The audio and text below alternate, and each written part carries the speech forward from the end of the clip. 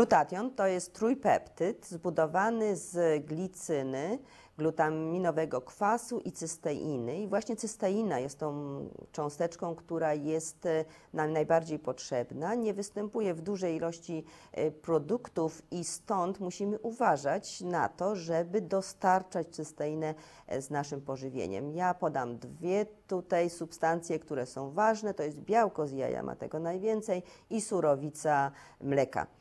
E, jest y, surowica mleka, tak jest, to jest serwatka i nie możemy się tą serwatkę obrażać. E, ona da, była dawana i nadal jest dawana e, na wsiach dzieciom, które są chore, a w międzyczasie daje się również prosiakom i innym zwierzątkom po to, żeby one były zdrowe. Rolnik jednak musi dbać o to, żeby jego zwierzęta były zdrowe i dlatego daje serwatkę. W niej jest duża ilość białek bogatych w cysteinę, jest to białko redukcyjne, ma grupy SH i to są te grupy, które właśnie po wbudowaniu do glutationu powodują, że ma ta komórka właściwości redukcyjne.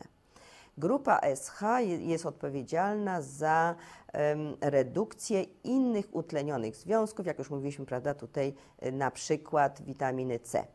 E, I ilość glutationu zależy od tego, jaki poziom ty, tych bogatych w cysteinę białek znajduje się w naszym organizmie. Nie wolno, podkreślam, jeść samej cysteiny, bo ona jest groźna. Były już takie metody robienia e, preparatów z samej cysteiny, e, ale one nie mogą, nie powinny być zjadane przez człowieka. Cysteina jest włączana do komórek naszych przez wnośnik na teren cytoplazmy, znajdujący się w membranie komórkowej, a jest to wnośnik dwupeptydu cysteiny. Ona musi być połączona z jakimś innym aminokwasem, czyli musi być nie sama, ale do naszego organizmu dostarczona w postaci białek. Te białka podzielone e, prawda, w procesie trawienia i takie dwupeptydy wnikają na teren e, komórki. Komórka mając ten dwupeptyd dobudowuje albo kwas glicynowy, albo glicynę i robi się glutation. Ja zwracam uwagę na to, że mając wysoką ilość glutationu w komórce, prawie że nam by była niepotrzebna witamina C, prawie mówię, e, i witamina E, bo one mają dobrą renomę, dlatego że je się łatwo bada. One mogą być podane z zewnątrz i firmy, które je produkują, mm, mogą to sprzedawać. Glutationu sprzedawać nie można, mm, ponieważ glutation musi być syntetyzowany w komórce, prawda? Mówiłam jeszcze raz, on nie ma wnośnika na teren komórki, on, wnoszone są prekursory, a budujemy w środku w komórce.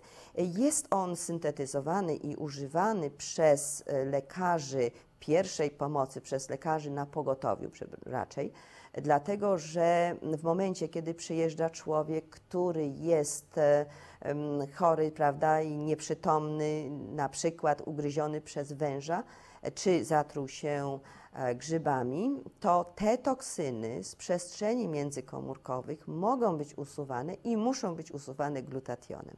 Czyli ta y, molekuła będzie w różnych proporcjach, ale i w komórkach, i poza komórkami. Te, które są poza komórkami, to są też syntetyzowane przez komórki, wyrzucane na zewnątrz. Ale wyobrażamy sobie ten moment, kiedy żeśmy się zatruli i nie ma, te komórki nie mają siły tak e, i mm, prawda, czasu na to, żeby syntetyzować niesamowite jego ilości i wtedy podajemy z zewnątrz w postaci, prawda, w, e, injekcji, e, w zastrzyku. Tak, także matka natura stworzyła człowiekowi, ale i wszystkim innym e, organizmom e, glutation, możliwość jego tworzenia i detoksyfikacji. Również wolne rodniki tworzone przez ultrafiolet, który wchodzi na teren naszych e, komórek i produkuje wolne rodniki, prawda, jest usuwany przez glutation. Stąd ta molekuła mm, powinna nabrać y, w naszej biochemii wielkiego znaczenia i jako biochemik y, tym się zajmuję. Zajmuję się również naturalnymi produktami, może więcej na ten temat powiem, dlatego że dostarczanie ich następuje z zewnątrz. Nie tak jak glutation.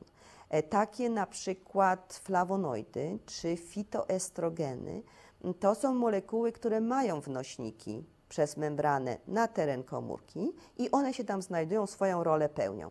Ale znowuż podkreślam, taka molekuła, reakcja przebiega w dwie strony i taka molekuła musi być później zredukowana, bo sama stanie się wolnym rodnikiem. E, jakie to są molekuły przez nas e, wytwarzane, to znaczy się, ja mówię, przez naturę, przez rośliny, służące im i w potrzebie.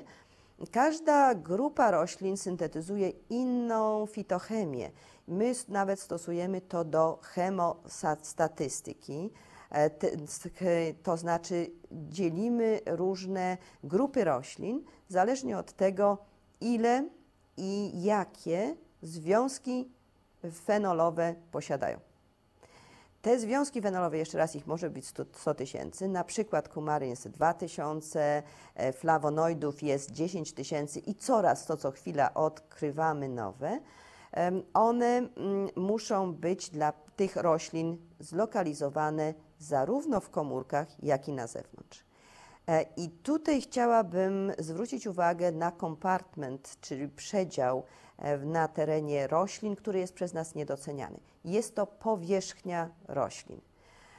Ja w roku 88 na, w Proceedings of National Science e, mieliśmy in, drugie Natural Products, dwa artykuły na temat usuwania tychże substancji z powierzchni roślin. Będą to bardzo ważne, bardzo aktywne związki, które jeśli my podamy człowiekowi, będą miały podobną rolę dla człowieka. Są to dwie role. Pierwsza rola pochłaniania ultrafioletu, bo rośliny boją się ultrafioletu, dlatego że on tworzy wolne rodniki, a w momencie, kiedy wyszli, wyszły te rośliny ja mówię, chciałam powiedzieć, wyszliśmy jako z życie z wody na, po, na ląd, to właśnie e, ultrafiolet był największym dla nas niebezpieczeństwem. I postworzone zostały molekuły, które mają większą ilość grup OH.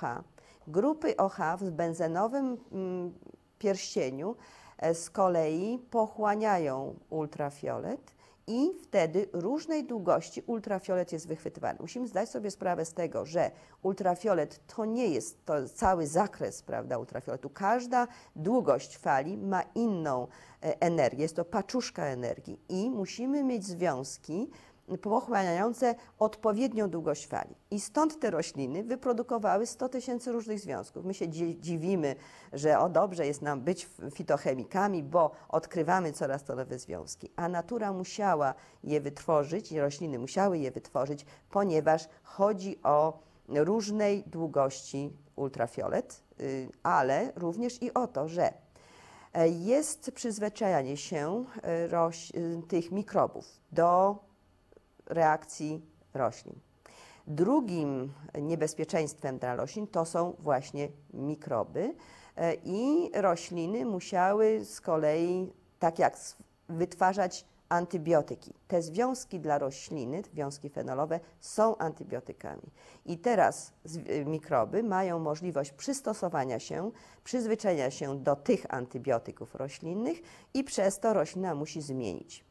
Ja zajęłam się zmianami ewolucyjnymi na poziomie roślin niższych, przechodząc do roślin wyższych, czyli różnych grup roślin, e, zmianami właśnie tych substancji. One wyglądają bardzo interesująco, bo na przykład najpierw było podstawienie w tym benzenowym pierścieniu pozycji siódmej przy pomocy OH grupy i one działały na inne mikroby. Mikroby się do tego przyzwyczaiły, więc już nie wystarczyło ta grupa, trzeba było dodać następną i powstaje wtedy tak zwana 6 i 7 dwuhydroksykumaryna a w związku z tym, że znowuż mikroby się przyzwyczaiły do tych dwóch y, prawda, podstawników, należało zmienić podstawnik i podstawia się grupą metylową i wtedy jest y, taka grupa OCH3 i znowuż y, pewna ilość mikrobów została utrzymana w szachu, były to antybiotyki przez pewien okres czasu, najprawdopodobniej nie kilka milionów lat. Ale ponieważ mikroby są wspaniałe i mają możliwość przystosowywania się, a rośliny musiały coś innego wytworzyć, został do, mm, do tego dobudowany drugi benzenowy ring. I tutaj się stworzyły flawonoidy. Czyli flawonoidy powstały w roślinach później niż właśnie kumaryny, no, a y, my odkrywając je, doszliśmy do wniosku, że one są bliżej nam, czyli mm, powstały, załóżmy te 3 em, miliony lat temu, a te furanokumaryny czy kumaryny to było 10 milionów lat temu. E, No i teraz ta komplikacja związków szła w kierunku, że przestrzennie ułożenia tych pierścieni benzenowych e, spowodowały, że taka molekuła może być włączona przestrzennie na terenie cytoplazmy i redukować parę wolnych rodników w tym samym czasie. Jest to dla nas dużym prawda, benefitem. No a pochłanianie ultrafioletu polegało na tym, że one, e, ten ultrafiolet nie był groźny. Rośliny tak bardzo się ultrafioletu nie boją, ale coś muszą zrobić z tą energią. Każda długość fali ultrafioletu, radiacji jest, ma inną mm, energię. I jeśli taką energię ta molekuła dostaje, to ona się będzie musiała zrobić albo wolnym rodnikiem, albo będzie bardziej aktywna, tak jak my. Jak mamy energię, musimy być aktywni, albo będzie musiała emitować dłuższą falę świetną. I to jest śliczna rzecz, bo jakbyśmy zobaczyli w ciemności, to takie naświetlone rośliny różną długością fali świecą. I to jest transdukcja światła fioletowego. To się nazywa autofluorescencja. E, I te e, molekuły służą do tego, że roślina ma możliwość zamiany ultrafioletu, groźnej e, radiacji, na widzialną długość światła i nawet użycie takiego światła w procesach fotosyntezy. Zrobiłam doświadczenia takie, bo chciałam udowodnić, że ultrafiolet jest groźny dla roślin, dla nas też, ale ja się zajmuję roślinami, prawda, jako fitochemik, więc włożyłam do zupełnej ciemności moją rutę graveolens. To jest e, roślina, która ma dużo tych furanokumaryn na powierzchni, związków kumarynowych na powierzchni e, i naświetlałam jedną długością fali świetlnej, tak żeby ona nie miała możliwości, e, prawda, się detoksyfikacji.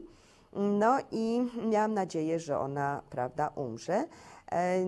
A zbierałam te rośliny po, po tygodniu, po dwóch, po trzech. Byłam bardzo szczęśliwa, jak zobaczyłam, że ona istnieje po miesiącu i była nawet ładniejsza niż moje kontrolne rośliny, więc byłam zaintrygowana, że jesteśmy na jakimś właściwym tropie e, tej mm, mechanizmu detoksyfikacji e, przez rośliny. I co się okazało? Że te rośliny po miesiącu miały większą ilość substancji na powierzchni. Ja to nazywam ten, prawda, ubranka, które my posiadamy. E, Te substancje zostały dziesięciokrotnie zwiększone e, w- stosunku do roślin kontrolnych e, i one musiały, je syntetyzując, posiadać energię. Inaczej nie było fotosyntezy przecież, prawda? Tej nie było światła z zewnątrz. No i myśmy zajęli się wtedy transdukcją y, ultrafioletu. Okazało się, że te rośliny, zależnie od tego, czy to jest tak zwana angelicina, an- czy to jest zantotoksyna, czy to jest bergapten, czy psoralen, mogą pochłaniać tą samą długość światła, tą 366 nanometrów, które myśmy podawali, a świecą inaczej. Czyli angelicyna świeciła na czerwony kolor, na niebieski zantotoksyna, bergapten na żółty i psorel na taki żół- żółtawo-zielony, e, czyli morski kolor. A wniosek z tego, że rośliny miały możliwość użycia tego widzialnego światła do fotosyntezy. E, I stąd one nie tylko, że nie umierały, to miały energię na to, żeby syntetyzować wtórne produkty. Muszę dorzucić, że synteza produktów wtórnych, tych obronnych produktów dla, dla rośliny jest bardzo energochłonna, e, ale one są konieczne, ponieważ zarówno rośliny, jak i my, bez nich byśmy nie, nie egzystowali. Dlatego, że rośliny jest, y, wytwarzają do tego, żeby się detoksyfikować, a my jedząc, bo my ich nie tworzymy, prawda? Ale my jedząc te rośliny, korzystamy z tych związków, bo dużo ich nie rozkładamy i przechodzą przez e, nasze y, błony y, przewodu pokarmowego i znajdują się później w przestrzeniach międzykomórkowych, znajdują, wchodzą do komórek i są przez nas używane.